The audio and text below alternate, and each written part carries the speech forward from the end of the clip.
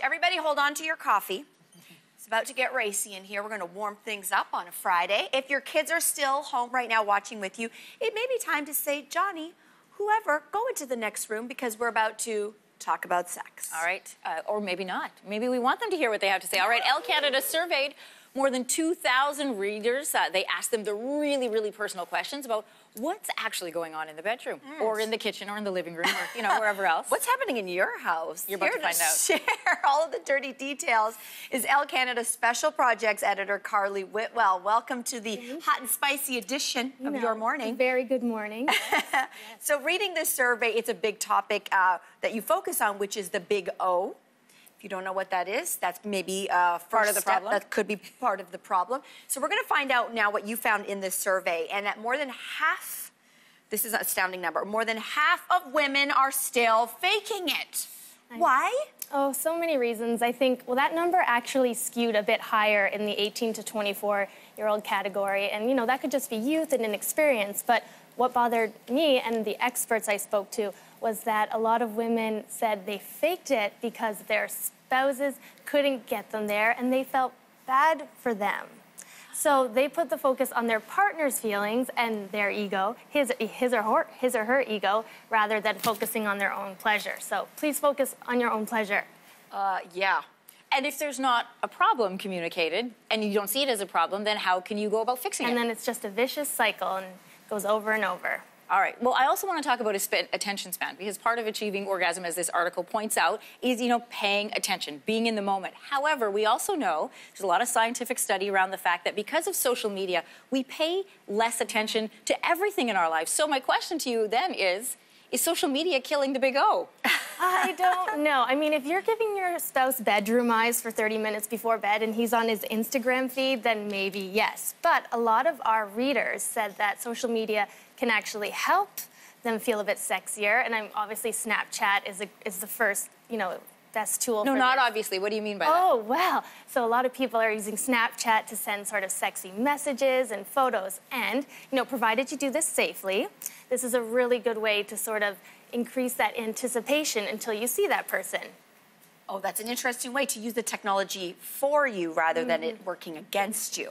Mm-hmm. Yes, let's say that using it consensually, both and, sides. Yes, and just practicing, you know, if you're going to send something private, maybe don't show your face and or if you have a distinctive tattoo, don't show that, you know, keep it private.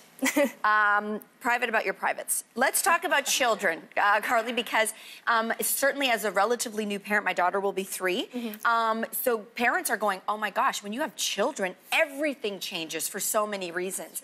So when you talk about children and how you incorporate, uh, well, not that you incorporate, so finding the time in an extremely busy household yes. when you have children and trying to find the sexy times, yeah. how do you find the time? We know that the brain is so much about achieving the big O, but if your brain is on, oh my gosh, what are they wearing for school? We need to make lunches, mm-hmm. we have to clean the house.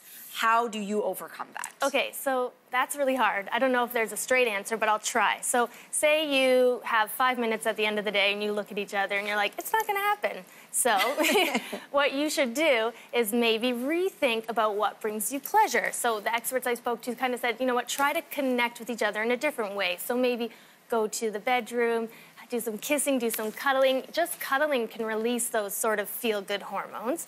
You know, do some teasing and and really connect and then maybe that will again build up some sort of anticipation for when Friday night comes and you throw the kids in front of like Frozen or Nemo and, and really can focus on each other. So just so you know, and I'm hoping my kids have left for school already, we used to call this Dora time in our house because we would put on a Dora.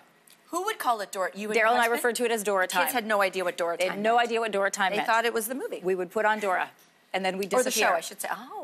I love that little trick. Dora time. It's Dora time. All right. All right. Let's say you've carved out, uh, you know, time in your mind. You found the right place. You put in the right video.